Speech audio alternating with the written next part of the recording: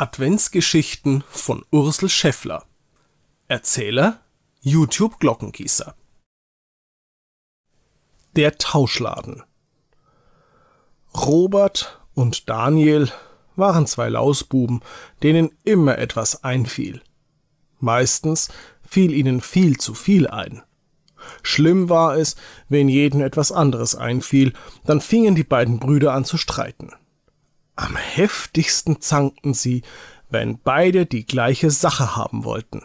Den Baukran zum Beispiel, den Fußball oder den Bleistiftanspitzer. Einmal kam es wegen so einer Sache sogar zur Prügelei. Daniel wollte unbedingt die leere Schuhschachtel für seine Buntstifte haben. Robert wollte daraus eine Garage für sein Modellauto bauen. Robert verteidigte die Schachtel, als sei sie der kostbarste Schatz der Welt. Daniel trat zuerst die Schachtel und dann Robert an den Fuß. Robert, der stärker war, schubste Daniel in die Kiste mit den Bauklötzen. Daniel verlor das Gleichgewicht und seinen Turnschuh. Er fischte ihn unter dem Schrank hervor und schlug voller Wut Robert damit auf den Kopf. Robert tobte. Er sah rot. Er packte Daniel an den Haaren, nahm das Feuerwehrauto und in diesem Augenblick kam der Vater zur Tür herein. Was ist denn hier los? rief er. Hört ihr sofort auf? Das sieht ja nach Mord und Totschlag aus. Willst du wohl den Kleinen loslassen? Schämst du dich nicht, Robert? Ich dachte, du wärst vernünftiger. Daniel hat angefangen, rief Robert empört. Robert hat mich mit dem Schuh auf den Kopf geschlagen, brüllte Daniel. Er hielt ein Büschel von Roberts dunklen Haaren in der Hand. Du lügst, schrie Robert. Alter, doofer, blöder Stinkbruder. Er wollte erneut auf ihn losgehen. Nur mit Mühe konnte der Vater die beiden Streithähne trennen. Er schickte jeden in eine Ecke des Kinderzimmers, stellte sich wie ein Ringrichter in die Mitte und sagte Schluss jetzt. Es ist mir egal, wer angefangen hat. Ihr hört jetzt jedenfalls mit dem Blödsinn auf. Wenn ihr weiter so streitet, dann, dann, ja, dann gibt es nichts zu Weihnachten, oder? setzte der Vater mit drohender Stimme hinzu. Wir tauschen euch beim Weihnachtsmann ein gegen zwei nette, friedliche Mädchen. Das saß. Die Tür knallte zu. Stillschweigend starrten sich Robert und Daniel an. Sie redeten an diesem Tag kein Wort mehr miteinander. Daniel ging ins Nachbarhaus zu seinem Freund zum Spielen. Robert verzog sich in die Küche. Da war es schön, da war niemand. Er schaltete das Radio ein, der Rundfunksprecher meldete sich mit freundlicher Stimme, viel freundlicher als Papas Stimme. Auch die Musik fand Robert gut. Seine Stimmung besserte sich.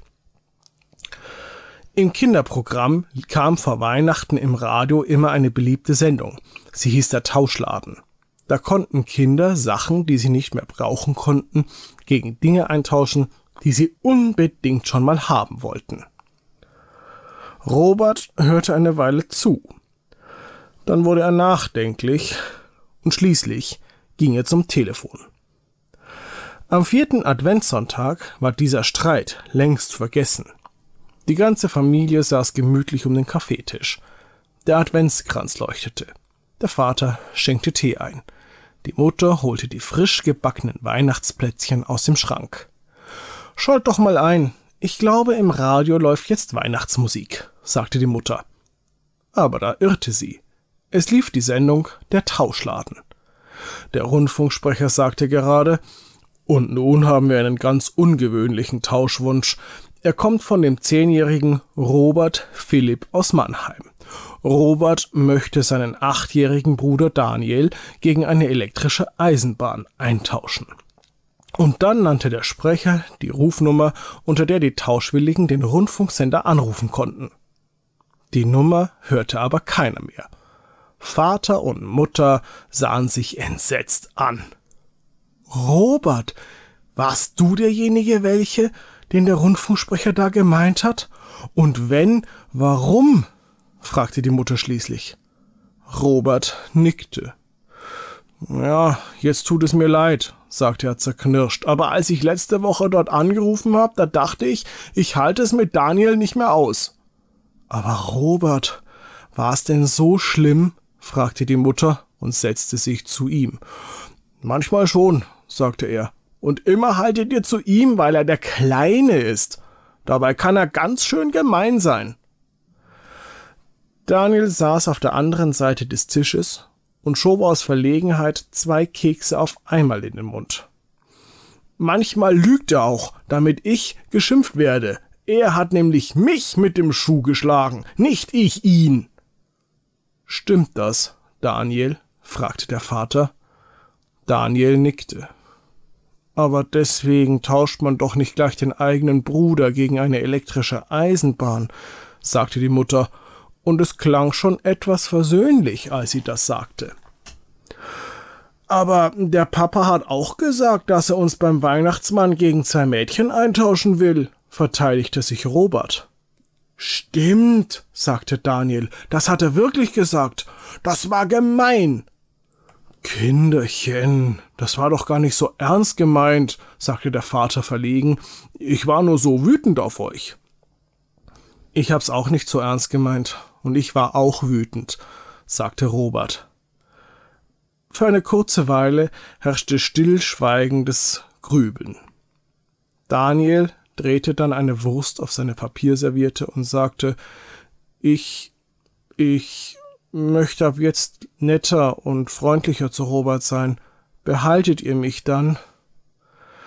Da sah Robert seinen kleinen Bruder an, drückte ihn fest und sagte, Tut mir leid, Danny, wirklich. Und wenn einer anruft, ich tausche nicht. Oder ich sage einfach, dass sich schon jemand gemeldet hat, der den Tausch machen will. Versprochen, sagte Daniel. Fest versprochen, sagte Robert. Dich lasse ich nicht von hier weg. Glücklicherweise hat aber niemand angerufen, der eine elektrische Eisenbahn übrig hatte oder der den kleinen Daniel haben wollte. Und der Vater hat erzählt, dass die beiden von da an viel netter miteinander umgingen. Bis Weihnachten zumindest.